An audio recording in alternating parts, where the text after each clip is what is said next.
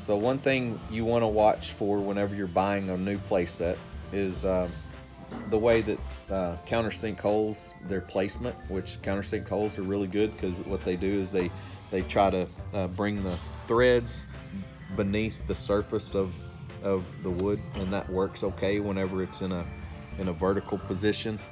This is in a horizontal position. As you can see, it works like a cup.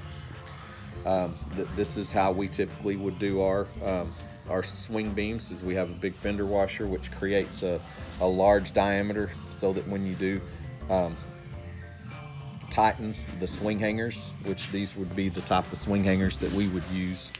You know you have this surface um, on the opposite side and so that's you, you're tightening that and it gives you this big surface area which uh, doesn't pull through the beam. As you can see this washer versus this hole is quite a bit of difference. This is probably more like one inch where this is inch and a half.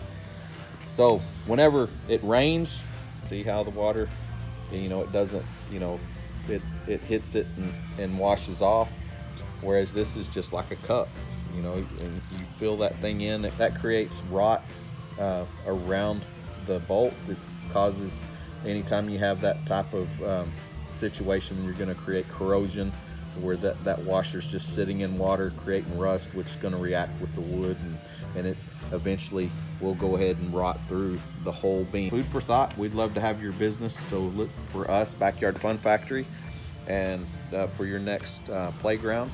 In the meantime, if we're not the right fit for you, then uh, this is something, a tip that you might look for.